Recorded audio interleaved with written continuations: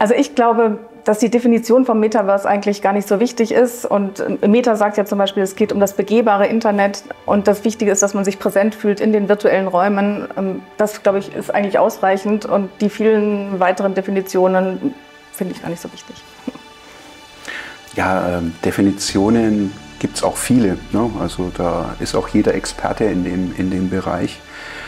Ähm, ich denke, heute sind wir noch an einem Punkt, wo es sich zeigen wird, was das Metaverse überhaupt einmal sein wird, wo es hinführt. Ja, das ist auch sehr stark von den Techniken abhängig, den Zugangswegen, die wir haben.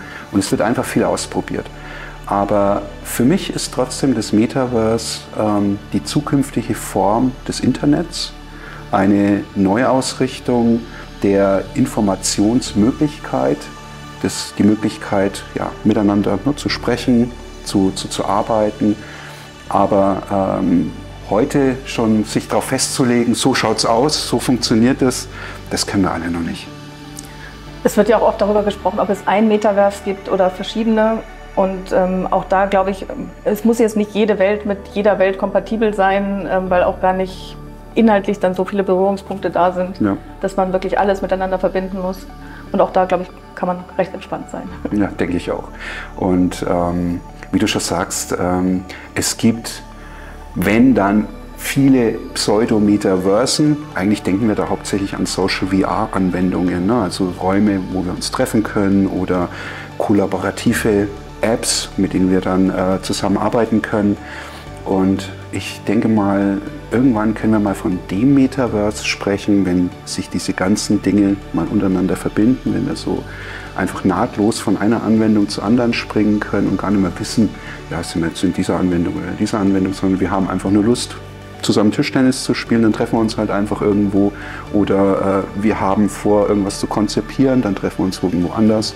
Und dann sind wir, denke ich immer, in dem Moment im Metaverse auch angekommen.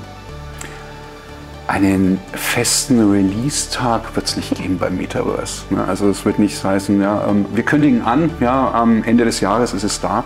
Das funktioniert so nicht. Das ist ein Entwicklungsprozess. Ja?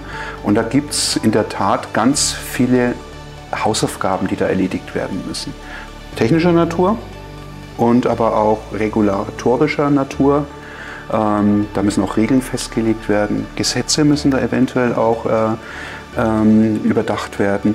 Standards auch müssen Standards, entwickelt werden. Ja. Und ich denke, es ist auch wichtig, dass man die Menschen mitnimmt.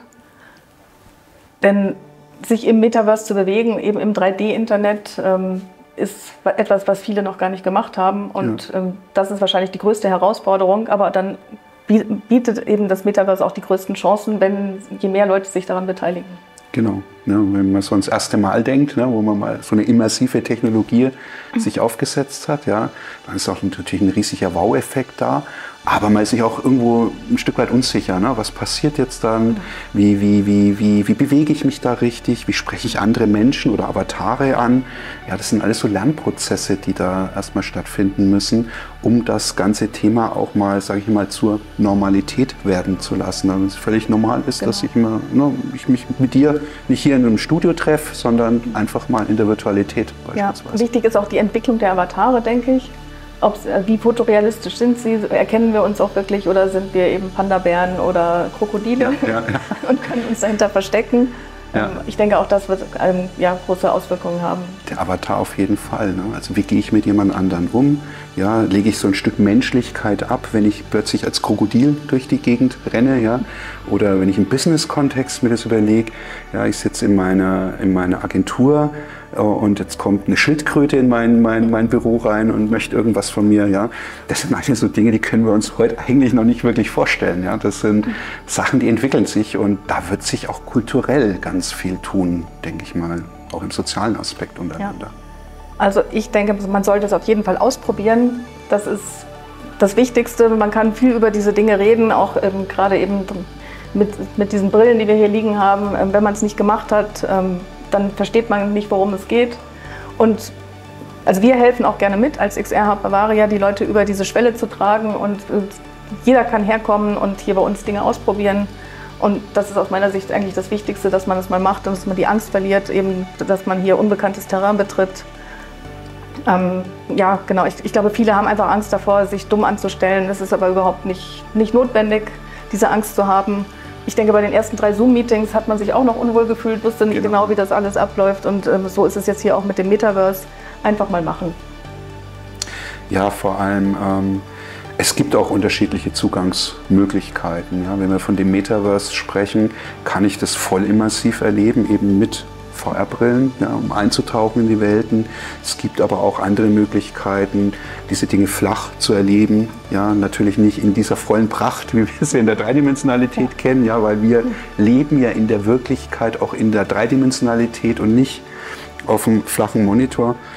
Ähm, aber trotzdem, ähm, man kann es sich dann schon mal angucken, man kann sich dann schon mal vorstellen, ja, wie funktioniert das Ganze, wie kann das aussehen, sich mit anderen Menschen zu treffen. Und wir zum Beispiel von der VR-Familie bieten da auch eine ganze Möglichkeit, eine ganze Palette an, an, an Erfahrungsmöglichkeiten an, sich mit anderen zu treffen in der Virtualität, zusammen zu spielen, Sport zu machen oder vielleicht auch ernsthafte äh, Projekte zusammen irgendwo zu stemmen. Und da ist es eben ganz wichtig, eben, wie du schon richtig sagst, ausprobieren, sich so eine Brille mal aufzusetzen und aber auch in Kontakt zu treten mit anderen, die es schon tun, die schon längst da sind. Ja. Wir haben in der Corona-Zeit die XR Spaces entwickelt auf der Basis von Mozilla Hubs. Das ist eine Web-XR-Lösung, die eben auch, wie du gerade schon gesagt hast, auch ohne Brille zugänglich ist, weil eben die meisten noch keine Brille zu Hause genau, haben. Ja. Und auch da haben wir uns eben dafür entschieden, weil es zum einen Open Source ist und weil es eben sehr leicht zugänglich ist. Man kann selbst mit dem Handy ähm, erste Erfahrungen im Metaverse machen und das finde ich großartig. Ähm, genau, wir haben die XR Spaces in verschiedene Kategorien gegliedert nach Verwendungszwecken. Wir haben Showrooms für Unternehmen, wir haben äh, Bildungsräume für, für Bildung, Leute, um, äh, Räume, um sich einfach zu treffen. Man kann äh, in eine Disco gehen. Wir haben ein Museum of the Metaverse gebaut. Ganz interessant die, auf jeden Fall. Für das Festival der Zukunft äh, vor einiger Zeit. Da kann man die Geschichte des Metaversums erleben und äh, lernt, dass das Wort äh, Metaverse nicht von Meta kommt, ähm, sondern eben schon 1982 im Buch von Neil Stevenson erfunden wurde mhm. und wie sich die Entwicklung eben dann weiter fortgesetzt hat. Es gibt ganz viele Möglichkeiten, wie ich mitgestalten kann. Und das ist auch ganz wichtig, wirklich äh, mit anzupacken, denn äh, virtuelle Welten lebt von der Vielfalt. Ja, es kann kein Unternehmen alles selbst stemmen, weil äh, ich kann natürlich als Unternehmen, egal wer das ist, äh, Welten zur Verfügung stellen, aber die werden ganz schnell langweilig. Das sind dann 10, 15, 20 Welten, die dann vielleicht existieren, aber es ist immer wichtig, dass solche Systeme auch die Möglichkeit bieten, selbst kreativ zu sein. Einfache Tools anbieten, um damit ich mir meine eigene Welt, meine eigene Homebase aufbauen kann, mir meine eigenen Bilder irgendwo an die Wand hängen kann, ich mich dann auch in meiner eigenen virtuellen Umgebung dann wohlfühlen kann. Und das bieten viele Tools auch. Und es gibt auch die Möglichkeit, natürlich auch tiefer einzusteigen, mit professionellen Tools dann eben auch äh, Welten zu generieren, zu erschaffen und da muss ich mich halt entsprechend auch informieren und einlesen. Aber grundsätzlich sind diese Systeme heute noch sehr offen und äh, laden förmlich dazu ein, auch selbst Hand anzulegen und selbst kreativ dann auch da drin zu sein. Ja, und das geht ja auch ganz einfach. Also wir haben auch schon Workshops gemacht, wo wir selbst mit Minecraft angefangen haben, ähm, Welten zu bauen, die man dann auch exportieren kann, die man dann auch in andere Tools reinziehen kann. Und das machen Schüler, das machen Schülerinnen. Äh, ja, mit zehn Jahren kann man also schon da tätig werden. Jetzt holen wir mal die Glaskugel raus, würde ich sagen. Die Frage kommt immer, ne? Ja, ich glaube, es wird einfach ein ganz normaler Bestandteil unseres Lebens sein. Und, wir, und ich habe jetzt schon mit jungen Leuten gesprochen, die gar nicht mehr unterscheiden, ob sie in der physischen oder in der virtuellen Welt Dinge erleben und einfach von der einen in die andere Welt hin und her switchen. Ähm, ja, ganz selbstverständlich. Und ich denke, das ist der Weg, auf den wir uns machen. Ja, ich denke auch, dass wir heute halt natürlich das Ganze noch für sehr spacig ansehen. Ja, wenn wir uns solche Brillen auf den Kopf setzen, ja, dann äh, schaut das vielleicht noch sehr ungewöhnlich aus. Aber ich denke immer an die Zeit zurück, äh, wie damals der Walkman ne, auf den Markt gekommen ist und wir auf dem Fahrrad illegalerweise mit Kopfhörer gesessen sind ja, und rumgefahren sind.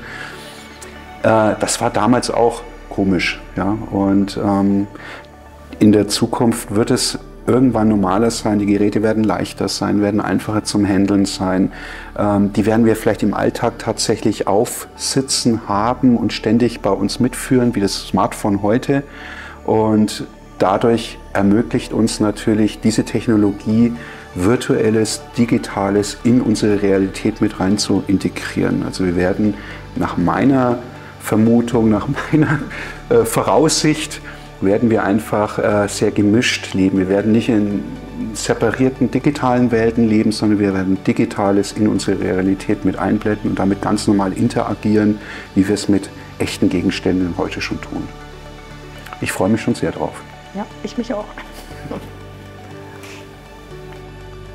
Wir als XR Hub haben für die freie Szene in Bayern und auch darüber hinaus ein Projekt gestartet, äh, das nennt sich XR Stage. Das ist in der Corona-Zeit entstanden und wir haben hier ganz konkrete Hilfestellungen angeboten, virtuelle Räume zu entwickeln ähm, und haben also Künstler und Künstlerinnen zum Beispiel gematcht ähm, in einem äh, Seminar an der TU München von dem, im Bereich Architekturinformatik. Die durften quasi sagen, welchen, in welche Richtung sie einen Raum gestaltet haben möchten und dann haben die Studierenden ähm, Designentwürfe gemacht und wir haben die dann zum Schluss fertig gebaut. Und wir geben auch gerne weiter Hilfestellungen und organisieren auch Workshops, wo man, wo man solche Dinge erlernen kann. Auch nicht nur für Künstler und Künstlerinnen, sondern, ähm, sondern auch für alle, die sich, da, die sich dafür interessieren.